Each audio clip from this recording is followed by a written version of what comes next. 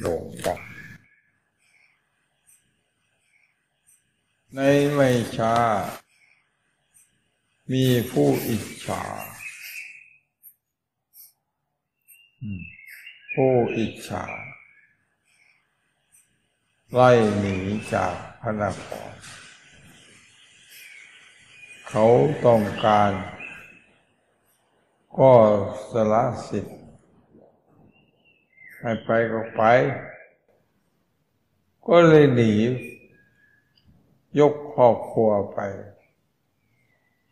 ไปซ้อนตัวอยู่ที่ปลายแดงไปเป็นพ่อค้าช่างหมอเป็นลูกน้องของช่างหมอพอได้อาศัยอาหารเป็นวันวัน เขาก็ไม่รู้ว่ามีแขกมาแต่เน้นไม่ทราบมาขออาศัย อยู่ด้วย รับจ้าง เคยเป็นกษัตริย์มาแล้ว อยู่หลายปี อยู่นั่นแหละเป็นลูกน้องเขา ลูกชายคนเดียวได้เสี่ยวสอน ให้ลูกชาย มีธรรมะได้อยู่ในใจ ส่งลูกชายไป ศึกษาความรู้ อยู่ที่เมืองตะกะศิลา กับอาจารย์ทิสาปโมกลูกของท่านชื่อว่าทีขาวตัวของพระองค์ว่าพระเจ้าที่กีติโกศล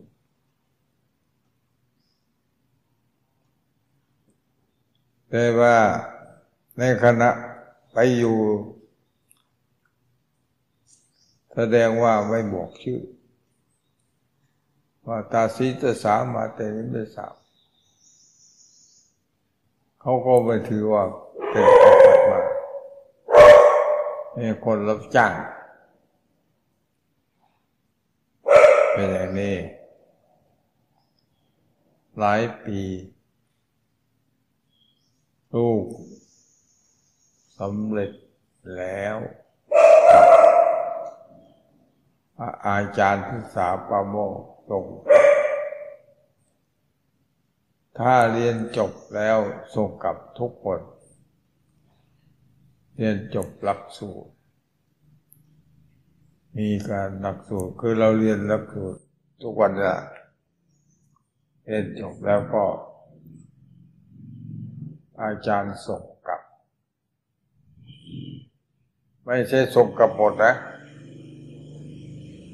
ถ้าหากผู้ใดเป็นผู้ใหญ่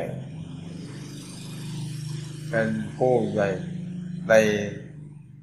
คณะเรียนนั้น ถ้าอาจารย์ใหญ่ อาจารย์ที่สาประโมกมีลูกสาว ต้องผู้เป็น หัวหน้าเอาไว้ ให้เป็นลูกเขยเป็นอย่างนั้นที่พวกนี้ก็เป็นนักเรียน เรียนจบแล้ว มีการเรียนวิชาอาคม จบแล้วก็ส่งกลับ พอส่งกลับ วิชาที่เรียนเรียกว่าวิชาเอก วิชาเอกคืออะไร การดีดสีตีเป่าร้องลำทำเพลงก็เป็นวิชา ท่านมีการดีดพินเป็นวิชาเอก ให้แก่ขี่เขาเก่ง เก่งมาก ได้ที่หนึ่ง ในทันในโรงเรียน ถ้าดีพินไม่ถึงห้านาที คนฟังอยู่เป็นร้อยต้องนอนหลับกล่อม มีคล้ายว่าวิชา นอนหลับเลยห้าห้านาทีก็ไป เป็นเพลง เพลงหนึ่งเพลงสองเพลงสามเพลงสี่เพลงห้าจบเพลงสองเพลงเท่านั้นนอนหลับแล้วคน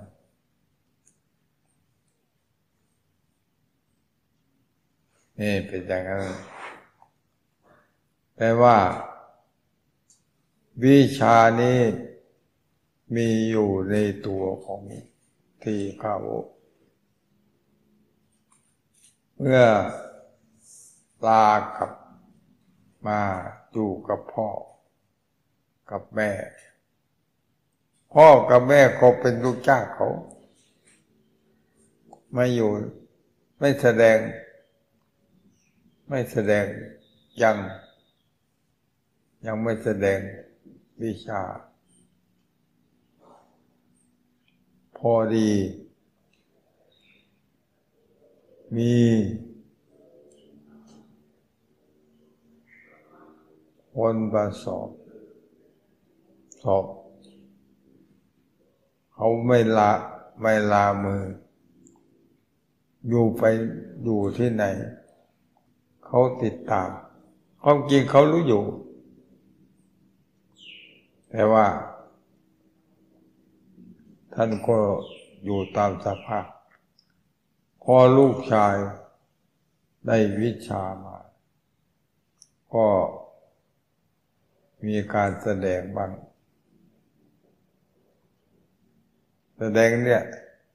แสดงวิชาที่เรียนมาพอดี เขาดูจัก ลูกชายของมาแล้ว เขาไปเรียน วิชาจากอาจารย์ทิสาประโมกในวิชาหลายอย่างยุทธสงครามก็ได้ ยิงปืนทุกเก่ง เก่งมัดทุกอย่างอา สั่งให้ทหาร ล้อมโอยล้อมก็วิยาก ของตายายคนแก่หนีไปได้ ล้อมลูกชายคนหนุ่มมีกำลังวังชา ออกจากบ้านโดยดุ เพราะมีเหตุ ไปช้อนตัวอยู่ที่แห่งแห่งใดแห่งหนึ่ง แต่ไม่หนีช้อนตัวอยู่แห่งใดแห่งหนึ่ง เขาก็จับเอาบิดาและมารดา จับเอา ทีนี้ เขาจะเอาตาย ประหารเลย ประกาศ ไปทั่วเมือง ไปรถประกาศ คิดถึงวิดามารดาจะทำอย่างไรหนอ ถ้าจะทำสงคราม เราก็ไม่มีกำลัง ไม่มีบริวารต่อสู้ ก็คอย คอยดู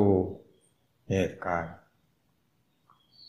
สองสามวันเท่านั้นเขาก็ทำวิธี เขาอยากจะให้ลูกชายเห็นมา ไม่มาปรากฏ แต่ไม่หนี อยู่นั่นแหละคนกับคนทั้งหลาย อยู่นั่นแหละวันสุดท้าย ในสองสามวันนั่นแหละเขาไม่รอให้ยาวให้ยาว เขาสถิตเจ้าหน้าที่เขาเขาจะไปประหารในแสดงแกงเขาว่า ที่ประหารมีอยู่ ไป ท่านก็ ไปไปเหมือนกัน ไปคอย แต่ว่าสำคัญอยู่ที่สูง ไปแห่งใดก็ดี อยู่ที่สูง ให้คนให้ พ่อกับแม่มองเห็น คนอื่นไม่สน ไม่เห็น พ่อมองเห็น วันสุดท้าย ใกล้ที่ไปหาตัววันคำจะคำแล้ว ให้ปรากฏ อยู่ ที่สูงใกล้ๆมองไปเห็นลูกชาย ก็ตะโกนบอก ลูกเอ๋ย อย่าเห็นเก่สั้น อย่าเห็นเก่ยาวนะลูกเอ๋ยอย่าผูกเวท ว่าแล้ว เจ้าหน้าที่เขาก็ใส่รถไปเรื่อยๆ ไม่รู้ว่าท่านพูดกับใคร คนทั้งหลายคนนึกว่า ตานี้ เสียสติแล้ว พูดกับใครแล้วก็ได้คณะพูดถ้าคน นั่งปกติ ไม่จ้องจับตาดูใครเขาก็เอาไป ไปแล้วพอดี มืดเขาคงจะประหารแล้ว ตอนนี้นึกถงสาร ญาติคนเดียวก็ไม่มี ในฐานะพระบิดามารดามาอาศัยเขา อาศัยพอได้อยู่ได้กิน ความจนนั้นไม่มีที่พึ่งก็เรียกว่า พ่อกับแม่ตายแล้ว ตายแน่นอน มันตะวันก็คำลงคำลงตะวันตกดี เราจะไปพึ่งใครหนอญาติของเราก็ไม่มีนึก นึกว่า บ้านหลังใหญ่ ๆ เป็นบ้านใครหนอ บ้านหลังใหญ่ๆอยู่ใกล้ๆขอราชสว่างแต่ว่า เป็นบ้านของขวนช้างเป็นผู้เลี้ยงช้างให้เจ้าพยาเออเราต้องไปอาศัยบ้านในอย่างนี้แหละ ก็ไปกับไหว้เรียกว่าคุณพ่อคุณแม่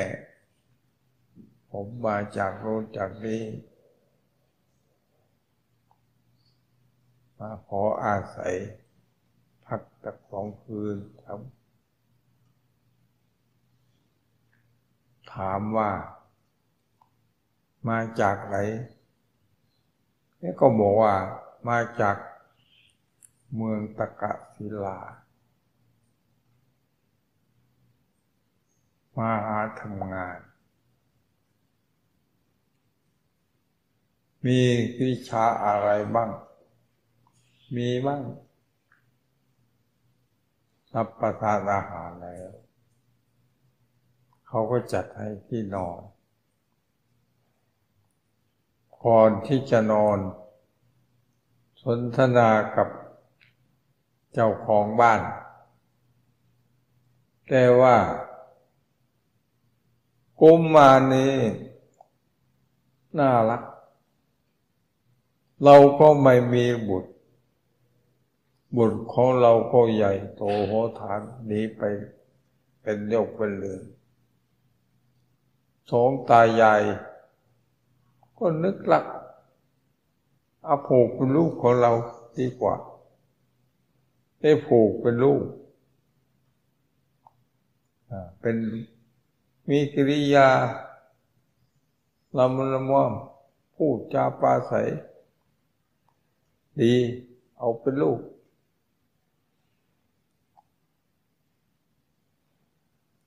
เขาได้เป็นลูก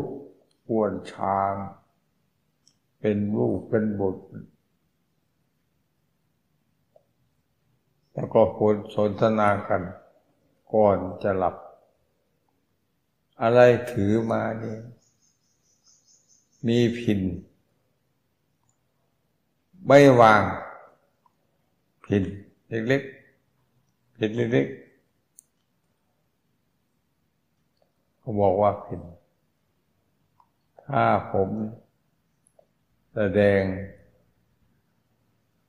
ห้านาที คนที่ฟังนอนหลับจริงเหรอ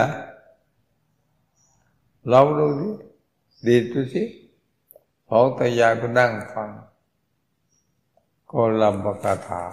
เริ่ม เปิดเพลง เพลงแรกง่วงแล้ว เพลงสองหลับ ในสองเพลง หลับแล้วก็หยุดตื่นขึ้นนิยมแล้วมีคนฟังหลายคนอยู่บ้านใกล้มาฟังด้วย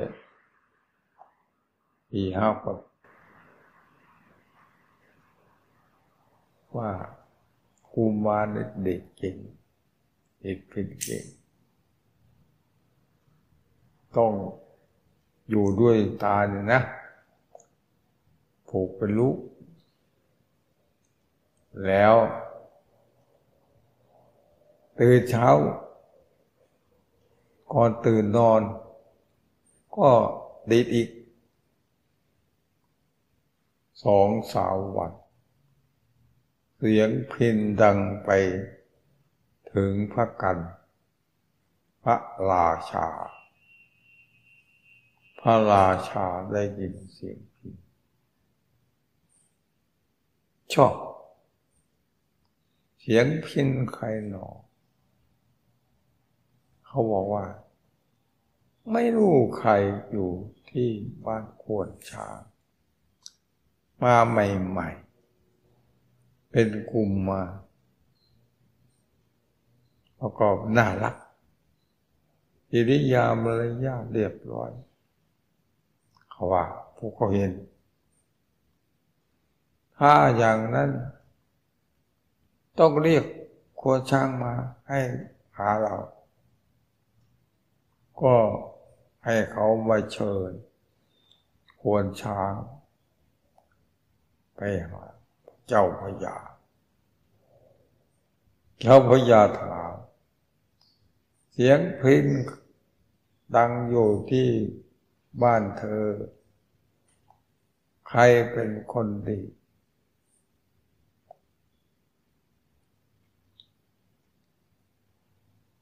ควรช้างก็ตอบ บุตรของเก่ากระผมเก่ากระหม่อมเอา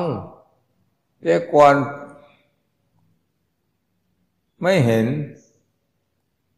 เขาไปเรียนมาจากอาจารย์ที่สาประโมกคุณจบ มาอย่างนั้น เราเพิ่งมาหนูไหนนะอยู่ที่บ้าน เอาไปเรียกมาเชียดูสิมันดีที่เราฟังเรียกมา พอเรียกมาแล้ว ดูกุมมารกับ ควรช้างคนละคนพ่อกับลูก คนละคน ไม่เชื่อไม่น่าเชื่อพยาสงสัยโอ้เจ้าทำไมถึงเป็นอย่างนี้ ตัวเจ้าก็เป็นอย่างนี้ ไม่เหมือนกันควรช้าง มีปัญญา ตอบว่าเก้ากระหม่อมเป็นคนทำงานสุขชนเขาได้แม่ของเขา เขาจึงมีลูกงาม แม่ของเขาเป็นคนงาม แต่ตายแล้ว ตายแล้วตั้งแต่เป็นเด็กน้อยเด็กๆแม่เขาตายแล้ว เจ้าวิยาก็เชื่อ แล้วก็ให้ดีเป็นฟังดีเป็นถูกพาหรือถ่าย ถ้าอย่างนั้นก็ กุมมาเนี่ยให้อยู่กับเราดีกว่า เราจะให้ตำแหน่งอ่าโอ้ย สาธุ สาธุ สาธุได้ถวายลูกชายให้เป็นลูกพระเจ้าแผ่นดินพอมอบลูกกับพระองค์นะ พ่อก็จะไปเลี้ยงช้าง ถามเคย ถาม ได้วิชาอะไรบ้าง วิชาสามที่สองประการ จบ จบหมดแพทย์หมอ รู้จัก พยายามไม่ต้อง วิชาอะไร วิชาฐานจบ วิชาอะไรอีกจบหมด ถ้าอย่างนั้น ขับรถเป็นไหมโอ้ยขับรถทุกชนิดประกอบรถเป็นได้ แต่อาจจะไม่มีเครื่อง แต่สมัยก่อน อาจจะไม่มีเครื่องบิน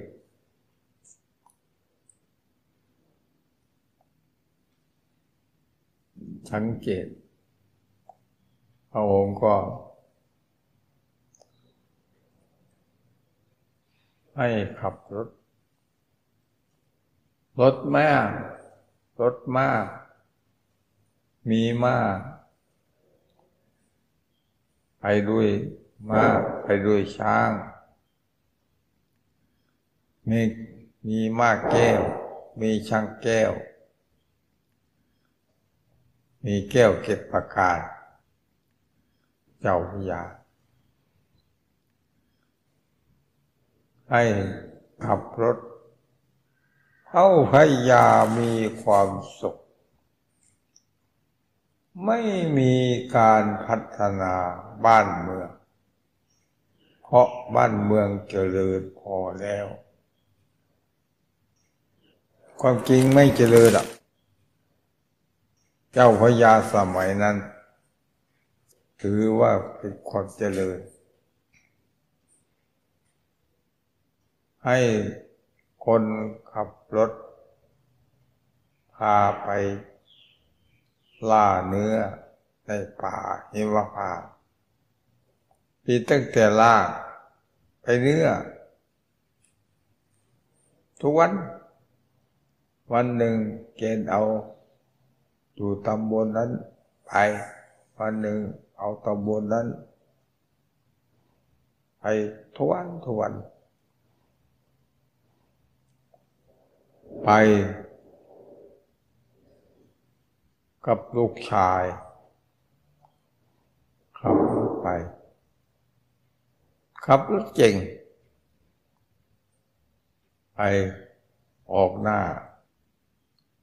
หลายวัน แล้วเป็นเดือนล่ะ ไปพัก ที่นั่นที่นั่นที่นั่นในป่า ต่อมา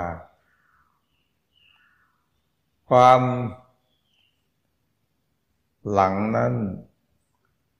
คิดอยู่ในใจ ไม่แสดงออก พ่อกับแม่ ถูกเขาฆ่าที่คุณได้ใจ ฝังไว้ในใจ ไม่แสดงออกมา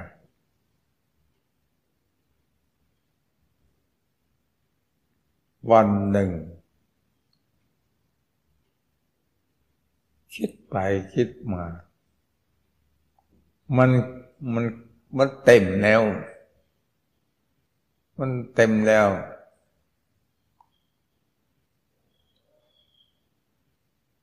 คนนี้แหละเป็นคนสั่งปาหารพระบิดาบารดาเราสอบแล้วกูจะเอาละในขณะไป ไปไปก่อน ไปคอยเขาอยู่ป่านู้นมีทัพไปกว่าจะไปถึงก็ตะวันเที่ยง ไก่โยมันเที่ยง ที่คนแก่เมื่อถึงตะวันเที่ยงก็ง่วง ง่วงนอน ก็นอน ตามปกติ นอน เอาศีรษะ ผ้าตักกุมมากุมมารก็ดีดขึ้นอยู่ใกล้หูหลับอยู่ที่ตักหลายวัน โอ้ย พระขันอยู่ใกล้ๆ นอนหลับแล้ว จับพระขัน เอาออกจากฝักเนี่ยไอ้คอไอ้ประสอเนี่ยนี่นี่ใกล้เสนอใกล้เสนอปาดคอเลย คิดได้แล้ว อย่าเห็นเก่สั้น อย่าเห็นเก่ยาว อย่าผูกเวรนะลูกเอาไว้ในฝัก หลายวัน วันสุดท้าย คงจะเป็นเดือน คิดดูวันแรกวันสุดท้าย อะตายก็ตาย เอาละวันนี้วันสุดท้ายดาบประคันเงินเงื่อนเงื่อนอยู่ตี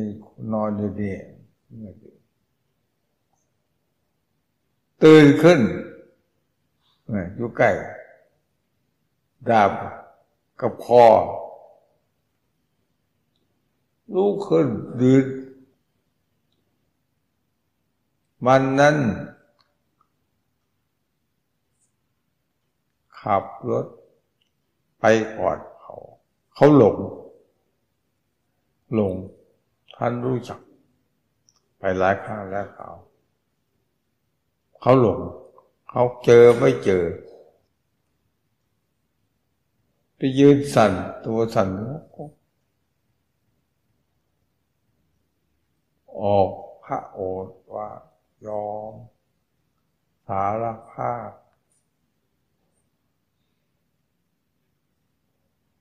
แสดงว่ายอมหลายอย่าง ก็ตามตามไปบุมาตามไปจะฟัน ยอม พูดออกมาสองครั้งสองอย่าง จะให้คองลาดจะให้ของลาดพ่อแก่แล้วใจของลาดมีลูกสาวอยู่คนหนึ่ง ชื่อสำลี ชื่อลูกสาวชื่อสำลี จะมอบลูกสาวให้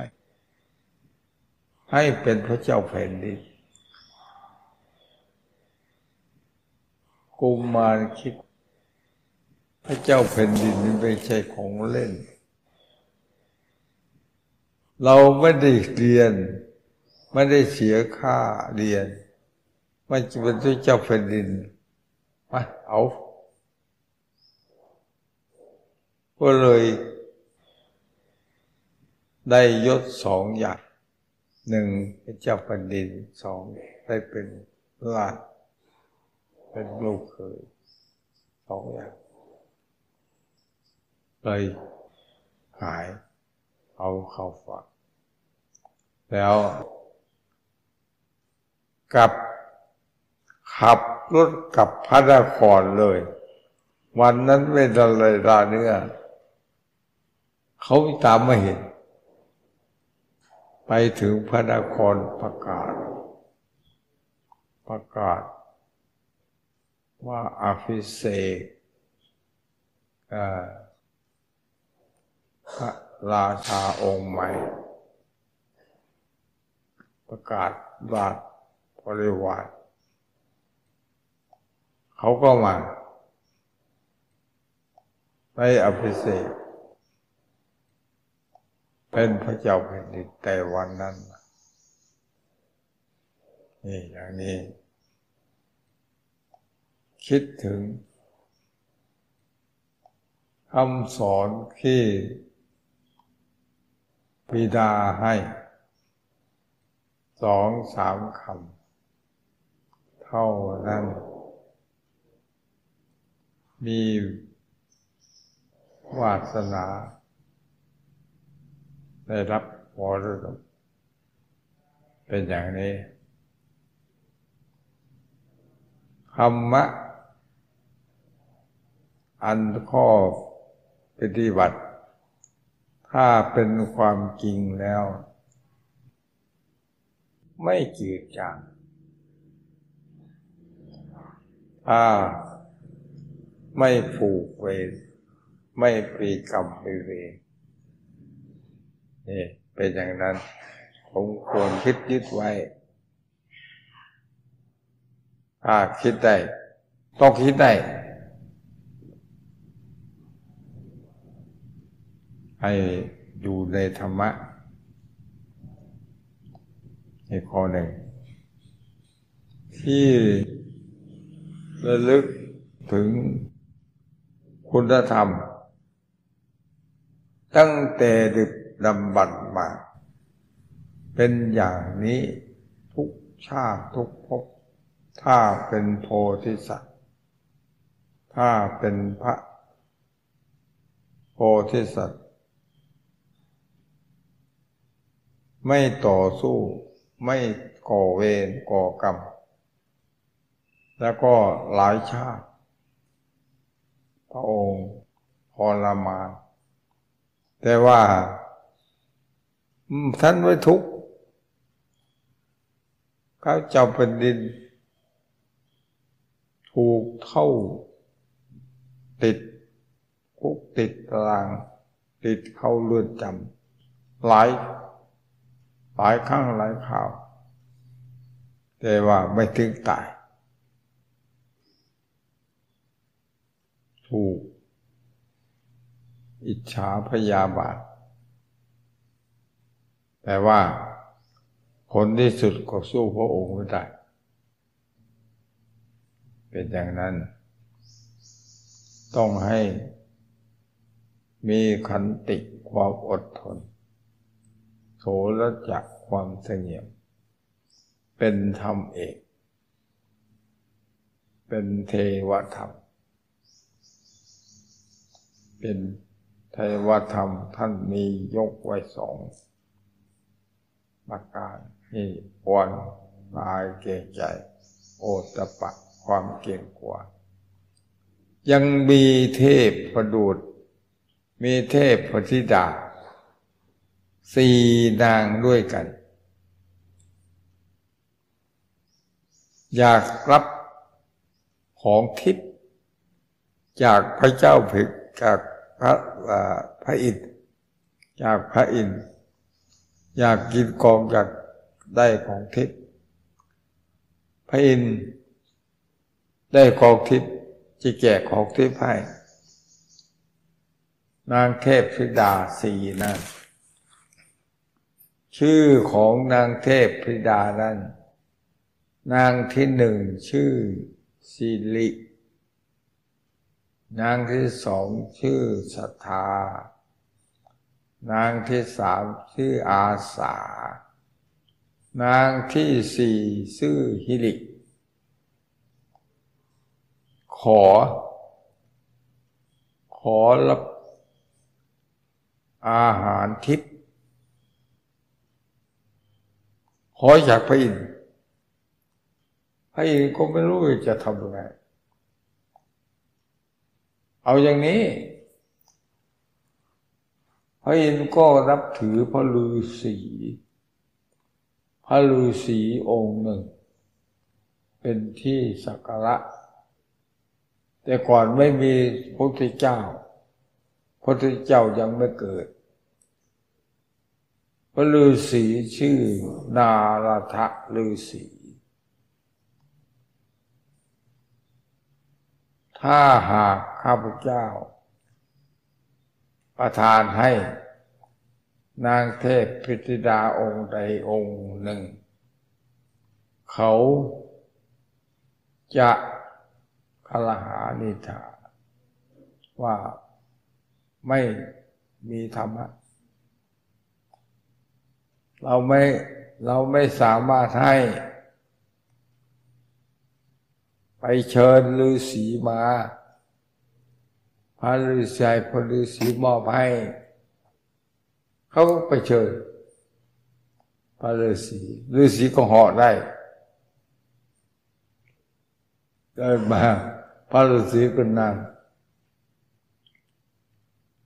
ว่านางหนึ่ง ยืนอยู่ทางทิศตะวันออก ที่ว่านางสิริ นางหนึ่ง ยืนอยู่ทางทิศใต้ที่ว่านางอาสานางศรัทธานางอาสานางหนึ่งอยู่ทางทิศตะวันตก นางหนึ่งที่ดังทิศเหนือ เนี่ยสี่นาง นางอยู่ทิศเหนือชื่อว่านาง ฮิริ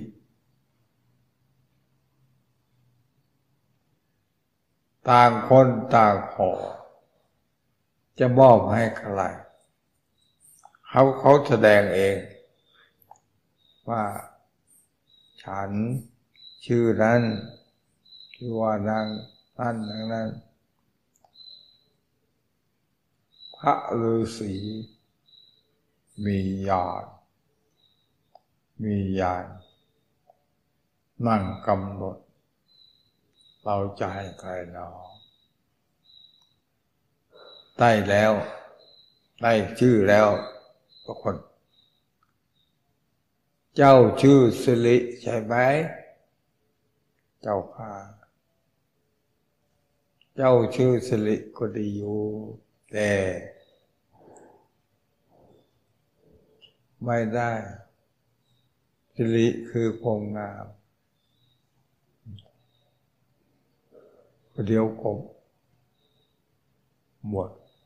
เข้าแก่สลาไปก็หมดแล้วตกไป เจ้าชื่ออะไรชื่ออาสัทธาศรัทธาก็ดีอยู่ บางทีศรัทธาไม่ตรง ถ้าคนใดพูดดี ให้คนนั้น คนพูดถูกใจคนนั้น ตกไปชื่ออาสา อาสาก็ดีอยู่รับใช้เขาถ้าไม่ถูกใจก็ปล่อยทิ้ง นี่คนที่สี่ อยู่ทางทิศเหนือ เจ้ากิไรชื่อฮิริคนนี้มีชื่อถูกตำลาของเราฮิริคือความละอาย ละอายบาปแต่ดุ้งกลัวต่อบาปพระอธิบายไปที่ห้าอย่าง สู้นางฮิริไม่ได้ นางฮิริได้ ได้รับ แจกของทิพย์ให้นางเรานั้นเหาะไปสู่วิมานเหาะหนีเลยไม่ได้ นางฮิริฮิริโอตปะสองอย่างมีได้ นางอิริ